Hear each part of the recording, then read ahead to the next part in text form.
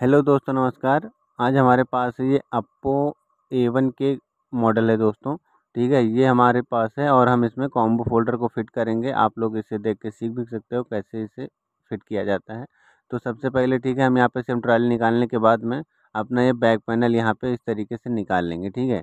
और उसके बाद में हम यहाँ पे जितने भी स्क्रू हैं दोस्तों, इसको पहले, सबसे पहले ओपन करना होगा क्योंकि इस जो प्लेट है, इसी के नीचे हमारा डिस्प्ले का वायर पत्ता और बैटरी का पत्ता होता है, ठीक है? किसी किसी में ऊपर मतलब ऊपर ही होता है, सारे प्लेट को ओपन नहीं करना होता है, लेकिन इसमें जो है, इस तरीके से आपको यहाँ पे प्लेट निकालनी पड़ेंगी सारे स्क्रू खोल के और फिर यहाँ से आपको बैटरी का पत्ता है दोस्तों, ये, इसको आपको रिमूव करना है, फिर ये हमारा डिस्प्ले का पत्ता है, ठीक है? इसको रिमूव करना है। और उसके बाद हम यहाँ पे जो हम फोल्डर लगाने वाले हैं, जो हम जैसे लगाने वाले हैं, उसको ना यहाँ पे चेक करेंगे एक बार। ठीक है? जैसे आप दुकान पे अगर जाते हो फ़ोन लेके जब डिस्प्ले ख़रीदने के लिए तो आपको भी यहाँ पर भी उसी तरीके से चेक करना है। ठीक है? आप यहाँ पे फ़ोन लेके जाओ और यहाँ पे इस तरीके से आप फटाक से चेक करके फिर आप फोल्डर ले आओ। फिर अपने शॉप पर या अपने घर पर आप जैसे भी आपको इसको फिट करना है, आप वहाँ पर फिट कर सकते हो। ठीक है? तो आपको और अगर आपने पहले से ला के रख लिया तो आपको इस तरीके से चेक करना होगा, ठीक है? तो मैंने इसे पहले से ला के रख लिया था तो इसलिए हम यहाँ पे चेक करेंगे कि हमारा फ़ोल्डर कहीं ब्लिंक तो नहीं कर रहा है या फिर ऑटोमेटिक तो नहीं चल रहा है, ठीक है? या कहीं ब्लैक वगैरह तो नहीं है, ये चीज़ हमें चेक करना होता है, ठीक है? तो अभी हमने इसको लगा दिया है और ये ओपन भी हो गया है, आप लोग भी देख रहे हो यहाँ पे, और ये हमारा टच भी काम कर रहा है बढ़िया से, ये देख सकते हो यहाँ पे, ठीक है?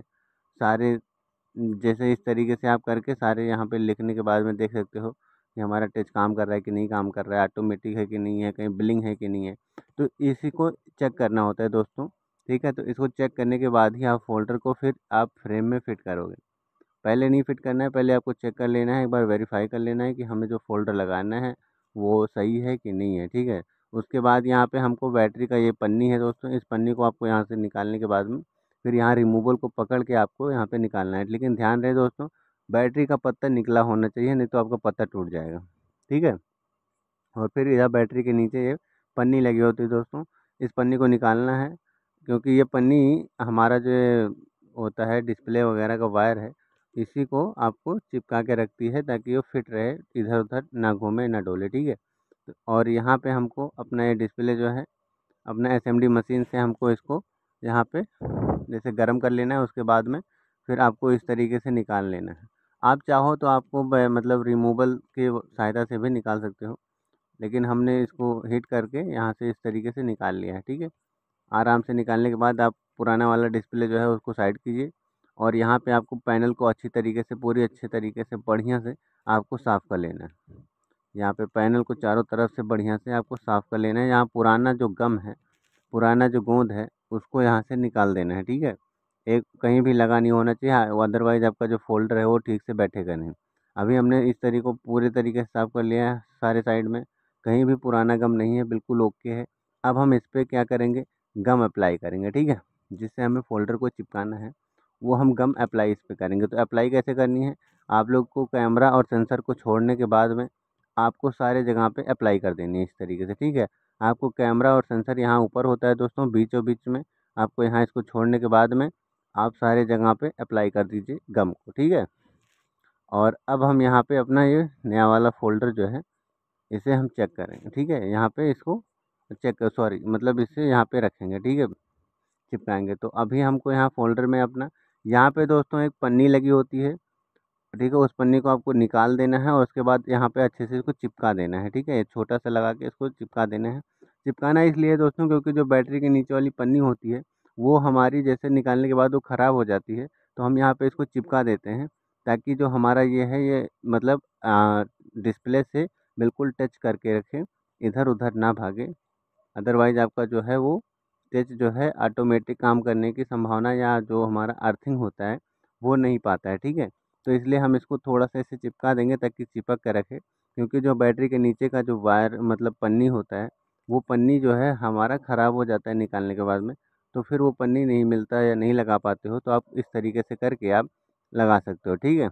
और ये है दोस्तों, गम है जो कि आपको लगाना था, ताकि आपका जो बाहर आ गया गम वो निकल जाए, साफ़ हो जाए, ठीक है? साफ़ करने के लिए।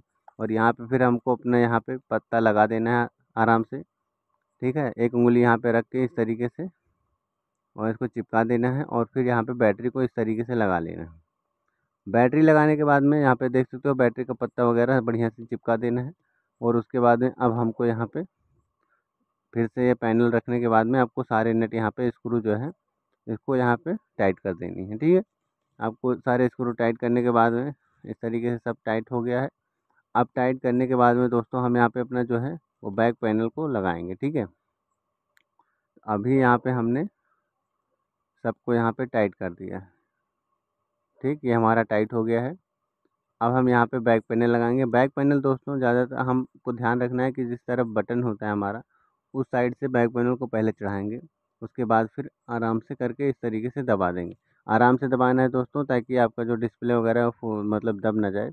और फिर यहाँ पे आपको यहाँ पे इसको ओपन कर लेना है। ठीक, मोबाइल को ओपन करने के बाद में अब यहाँ पे आपको रबड़ अप्लाई करना है। ठीक है तो ये हमारा रबड़ है, आपको रबड़ अप्लाई करना है यहाँ पे, अच्छे तरीके से। रबड़ कैसे अप्लाई करना है दोस्तों तो आपको इस तरीके से पकड़ के, ठीक है, आपको यहाँ पे तीन बार घुमाना है, ठीक है तो ये हमारा एक हो गया, ये दो हो गया, ये तीन हो गया। इस तरीके से आपको तीन बार आपको रबड़ को घुमाना है, यहाँ पे, ठीक है, और फिर यहाँ पे इस तरीके से रख के आपको ये, इस तरीके से तीन तीन करके आपको कम से कम पाँच छः रबड़ आपको यहाँ पे लगा देना है। ठीक है? अच्छे से, ये इस तरीके से। पाँच छः रबड़ आपको यहाँ पे ऐसे लगा देना है। ठीक? और यहाँ पे, अब ये दूसरी साइड, ऊपर से की साइड से और नीचे की साइड से इस तरीके से आपको यहाँ पे लगा लेना है। यहाँ पर भी आप दो तीन रबड़ यहाँ आराम से लगा सकते हो, ठीक है? तो इस तरीके से हमने रबड़ को लगा दिया है। अब हमारा ये ओके हो गया, ठीक है? इस तरीके से हमारा डिस्प्ले लगेगा, ठीक है दोस्तों? तो अगर आपको ये वीडियो हमारी पसंद आई है दोस्तों तो प्लीज़ वीडियो को लाइक कीजिएगा, चैनल को सब्सक्राइब कीजिएगा। मिलेंगे आपसे एक नई वीडियो में, तब तक के लिए बाय बाय ओके दोस्तों।